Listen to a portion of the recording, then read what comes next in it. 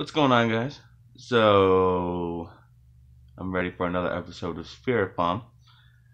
So, I took a shower this morning, and since I have to shave for work, I was shaving, and mid shave, I clipped my lip, and it started bleeding, and I don't feel like holding a piece of cloth against my lip. So I used some medical tape, as you can see.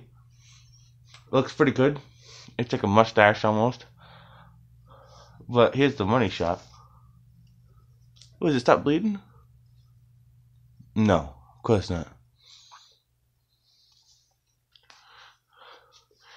Thank God for modern medicine. I wouldn't know what to do without it. At this point, anyways.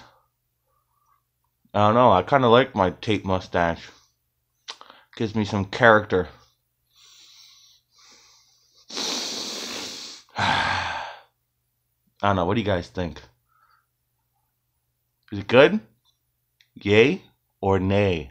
That's all I want to see in the comment section, by the way, is yay or nay. No, like, dude, would you have a piece of tape on your face? And no, I don't want to hear it. Just yay or nay. That's all I want to hear.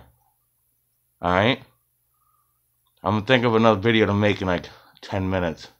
Hopefully this thing will stop bleeding by then because I'm really, really sick of having this napkin like halfway in my mouth trying to talk.